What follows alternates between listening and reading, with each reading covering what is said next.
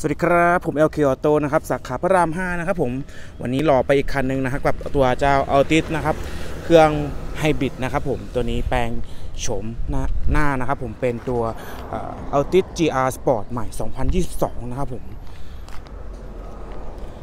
ในตัวที่เปลี่ยนไปนะครับจะเป็นตัวกันชนด้านหน้านะครับผมที่มาพร้อมกับสีนะครับจากโรงงานนะครับ ตัวนี้เป็นสีเทา ออกฟ้าฟ้าๆนะครับผมแล้วก็มาพร้อมกับตัวช่องลมนะฮะที่เป็นสีดำเงานะครับ เพิ่มมิติให้กับตัวรถได้สปอร์ตแล้วก็สวยสวยและลงตัวมากยิ่งขึ้นนะครับผม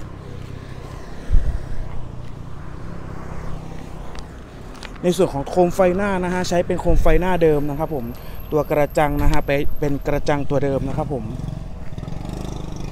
เพิ่มเติมขึ้นมานะครับจะเป็นตัวช่อง ลมแอโร่ตรงนี้นะครับผมทำให้รถดูโฉบเฉี่ยวมากยิ่งขึ้นนะครับผม